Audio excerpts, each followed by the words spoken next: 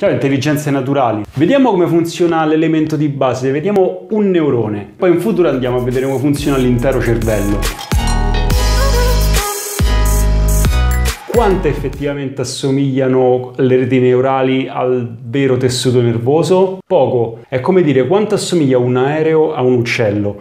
L'aereo ha effettivamente le ali e vola, ma il sistema di propulsione è totalmente diverso. Per questo si parla di intelligenza artificiale bioispirata, perché è ispirata ma coglie soltanto alcuni elementi dal, dalla natura, il resto è uno sforzo di tipo ingegneristico e scientifico. Esistono tutta una serie di modelli che sono meno o meno dettagliati ma che imitano il funzionamento del neurone per finire con quello che si trova all'interno delle reti neurali che è il modello di neurone più semplice in assoluto. Il compito del neurone è raccogliere informazioni dagli altri neuroni attraverso le sinapsi, che sono le connessioni tra i neuroni, elaborare questi segnali a seconda di quanto poi sono forti queste connessioni con gli altri neuroni. È come se avesse diverse amicizie all'interno del cervello e sente parlare da ognuno e a ognuno da un peso diverso. Tra l'altro l'apprendimento va proprio a cambiare la forza di questa connessione.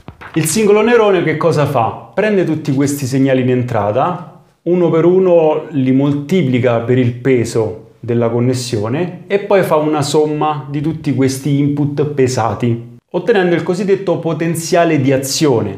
La funzione di attivazione ci permette di trasformare questo potenziale di azione, questa forma di eccitazione, in un segnale che andrà poi agli altri neuroni. Questo è il comportamento di base del neurone. Proviamo a scrivere tutto questo in Python e confrontiamolo con la notazione matematica.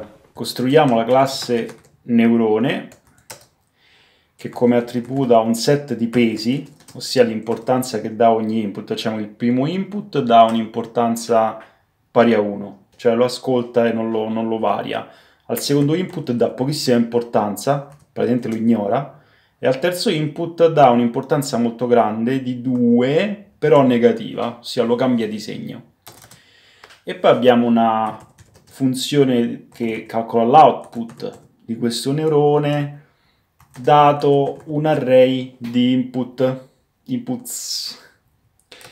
Che cosa facciamo? Calcoliamo il potenziale di azione, inizia da 0, poi facciamo un loop sugli input, range, len, la lunghezza inputs, ok? Questo è un indice che, che scorre tutti gli input e aggiungiamo al potenziale d'azione eh, l'input stesso a quell'indice per il peso corrispondente.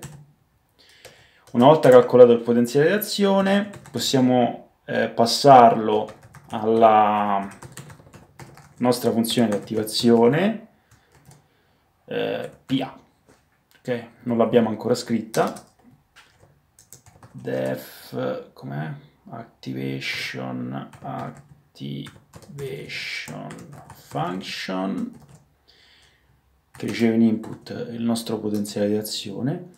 E qui adesso mm, ci mettiamo una sigmoide ma ci sono varie funzioni di attivazione. La sigmoide a partire dal potenziale di azione restituisce 1 diviso eh, 1 più eh, exp e alla meno PA andiamo a provarlo.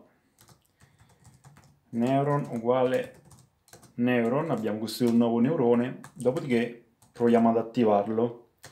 Eh, neuron.output e gli passiamo in input un array che può essere ad esempio 1.1.1 vediamo come risponde 0.26 proviamo a passare tutti i zeri vediamo che succede indoviniamo che cosa succederà adesso 0.5. Questo 0.5 dove ho fatto che il potenziale d'attivazione è 0 effettivamente, perché qui dagli input arriveranno una serie di zeri che annulleranno tutta questa sommatoria e qui viene passato effettivamente uno 0, ma poi la sigmoide porta lo 0 a 0.5.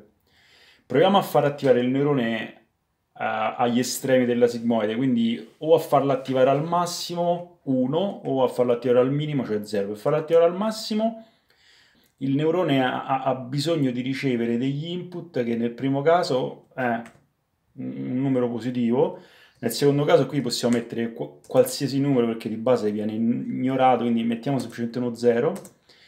E in questo caso qui, siccome eh, la rete assegna un grosso peso negativo, possiamo passare un peso negativo. Adesso dovremmo ottenere un numero vicino a 1 perché ognuno degli input viene, viene, viene valorizzato al massimo. Infatti abbiamo 0.95 proviamo adesso a, a, tirare fuori un numero vicino a 0 cioè quando è che questo neurone si attiva poco?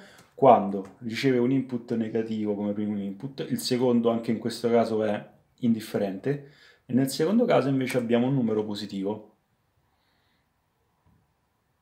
e viene 0.04 Adesso che abbiamo capito come funziona un solo neurone sarà molto più semplice capire come funziona uno strato di neuroni e una rete composta di diversi strati. In bocca al lupo per il vostro potenziale di azione, subscribe e con Pollo ci vediamo al prossimo test di Turing. Bio ispirata è quella branca di intelligenza artificiale.